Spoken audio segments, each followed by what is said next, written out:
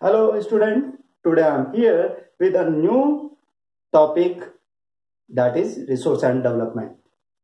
So first of all, I just want to make you understand what is resource. And you have already studied at your class 7th and 8th. Resource is the thing we satisfy our need. Means the thing which we use to satisfy our need. It should be technologically accessible, economically feasible and socially acceptable. If you will just see around you, there are so many things. Something are natural, something man-made, or human resources also there, like in form of doctor, teacher, shopkeeper. Okay, but I just want to make you more understand what is the resource. Means anything which is available in the nature, that is natural thing. But you can't say every natural thing is a resource.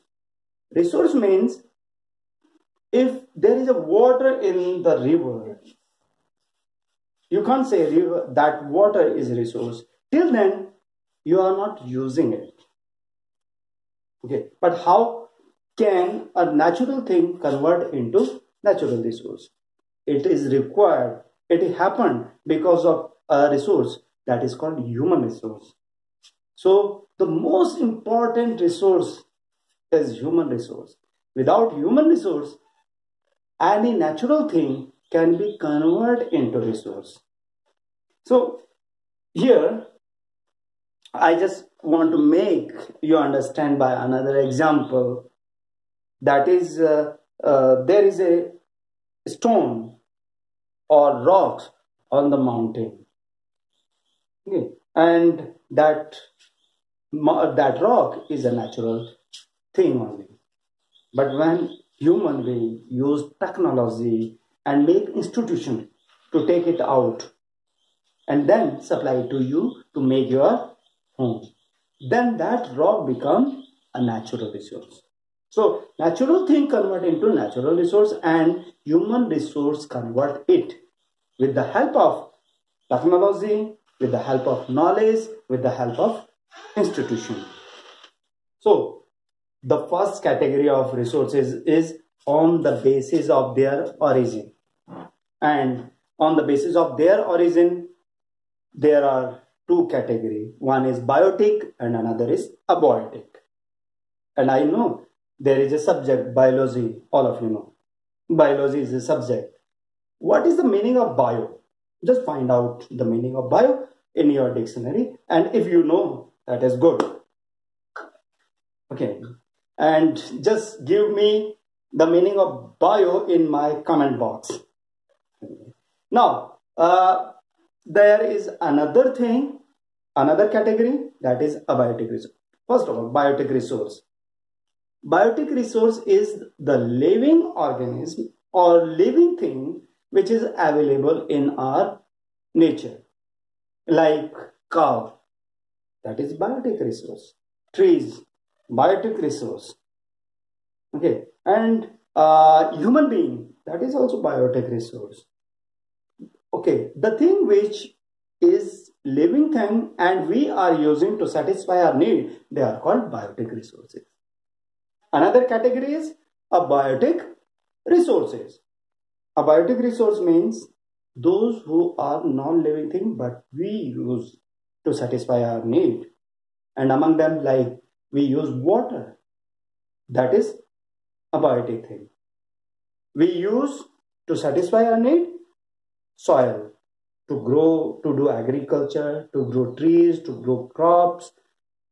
That is abiotic we use also land to make factories to make schools and houses all these things. The second category in which we divide our resources or you can say classification is on the basis of on the basis of exhaustibility.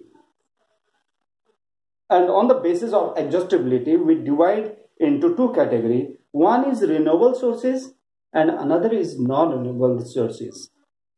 Renewable resources means the thing, the resources which we can use again and again and again again and again but it cannot be finished. An example is there like wind energy or solar energy or water. We can use them again and again. Here you, you should not be confused. Water is renewable resources as well as abiotic resources also. Non-renewable resources are those resources which we can use once or twice or thrice and after that it will finish. And just in this birth, it cannot grow or it cannot produce again by the nature. Like coal energy, once you use, then it take million of year to produce by the nature. So coal, petroleum product, they are non-renewable resources. Another category is on the basis of uh, ownership. Our resources into four categories. And they are, first of all, individual property or individual resource. Means any resource which is owned by any individual, like your father owned your home, or you have, you are the owner of some piece of land, or as a student, you are owner of the pen you are having, the notebook you are having. This is individual property. So such kind of resources which we own individually or owned by our family, they are called individual resources. And another resources are uh, community resources. It is community means a, a small uh, number of people, a community. Like a village is a community, a colony is a community, and a village which have a playground in the village, it is owned by the whole village. It is not community resources. National resources. This is another category. Means the thing which owned by our country and every person, every citizen of our country are entitled to use that, like a road, highway, uh, and like hospital. Okay, this is called our national resources. And some resources which all the country can use, but it is regulated by UNO. It is called international resources like and every country has the right to use that ocean and it is regulated by UNO. okay like uh, Antarctica Antarctica has lots of natural resources but it is regulated by UN another category of natural resource or resources in which we divide that is state of development and in this way, we divide our resources in four category That is potential resources and uh, developed resources, stock and reserve. And first of all, I will take first category that is that is potential resources. And what is potential resources? I'm giving you example. We have like in India, we have lots of resources over there but because of the lack of shortage of technical capital or any other reason we are not able to take it out it is lack of i'm telling you because you will confuse it with the stock so because of lack of technology or technical capital we are not able to take it out but we are having and technology is also available. So such kind of resources is called potential resources. Another resources is developed. Developed resources are there that we have a proper planning, we have proper resources, we have uh, proper technology, and it is feasible and it is acceptable by the society and technologies available there and we are taking it out for our well-being or for use for development. That kind of resource is called developed resource. Now I am going to tell you another resource. It is stock. Okay. Stock is the resource which is available. And theoretically, we know that we can use it. But technically, we are not able. And proper technology is not developed for using that resource, that thing.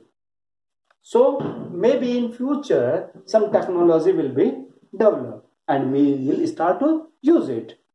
Like water. I am giving you example of water. Water is a compound of oxygen and hydrogen. Hydrogen is a combustible gas and oxygen help to combustion. Okay. Now if we will break hydrogen, uh, if we will break the water into hydrogen and oxygen and we use this energy but we don't have technology theoretically it is possible theoretically it can happen but right now we are not having proper technology. Second example is hydrogen is available in plenty of amount but we can't use because the lack of technology not lack of technology because this technology is not still developed. So another another category of resources reserve resource we have resources we have technology there is no lack of technology or capital but we are not using in keep of mind that our future generation will be used and it can be finished forever we reserve it for the future. This kind of resources called reserve resources. And you can see the America is very rich in petroleum or crude oil in form of crude oil, but it is not taking it out. It is purchasing the crude oil from other countries. Why? Because America know in future it can be finished and at that time it required. So America just reserved that resource for future. It is called reserve resources.